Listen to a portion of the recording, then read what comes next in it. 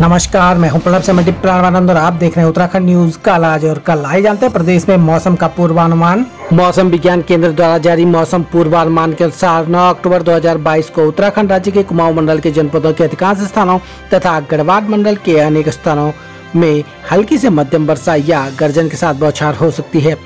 जनपद स्तरीय चेतावनी के अनुसार उत्तराखंड के कुमाऊं मंडल के जनपदों में कहीं कहीं भारी से बहुत भारी वर्षा होने की संभावना है।